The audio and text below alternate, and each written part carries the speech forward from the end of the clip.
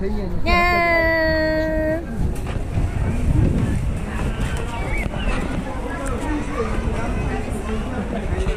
藤子ちゃんは今日偉いねん。早く来て早く帰ってあげた方がいいよってみんなに言われて早く来ました。社長のお仕事姿。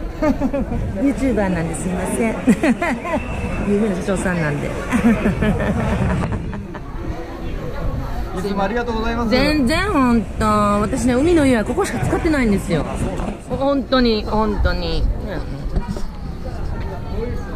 で今日は早早く帰って焼肉屋さんに行きます。イエイ。あと遅いわ私。せっかく昨日さ三角ピンキに買って本当クラブに行く予定が社長に「ごめん片瀬の島」って変わって。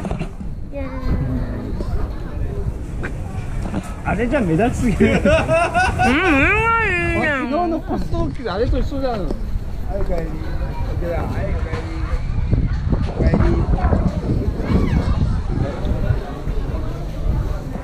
ありがとう。あれねこれでくるね